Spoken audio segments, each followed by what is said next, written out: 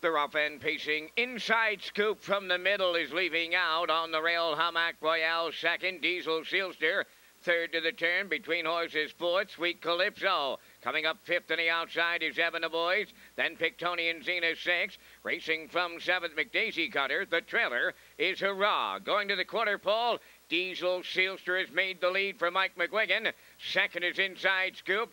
Ebb and the boys might be in trouble. Caught on the outside third. Pacing fourth on the rail. That's Hamac Royale. Back into fifth. Sweet Calypso. Ebb and the boys is going to get a seat now third. 28.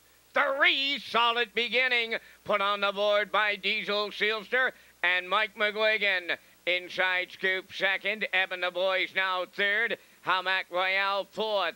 Pacing from fifth is Sweet Calypso. She's moving out. Following up on the outside six, McDaisy Cutter. Pictonian Xena seventh. Hurrah on the outside, the trailer. They move past the opening half mile, led by Diesel Sealster in 59 seconds flat.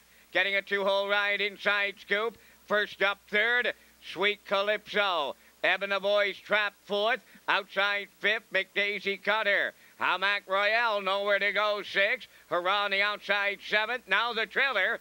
That is Pictonian Xena. Three quarters coming next. New leader on the outside. Sweet Calypso now on top. Diesel Sealster still has the pylons, and here comes the turn now. Racing past the three quarters in one, 29 and two. Diesel Sealster reclaiming the lead.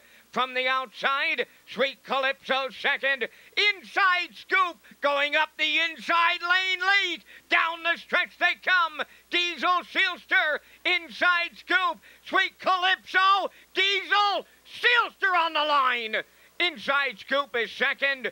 Sweet Calypso will finish third in one. 59 and 2.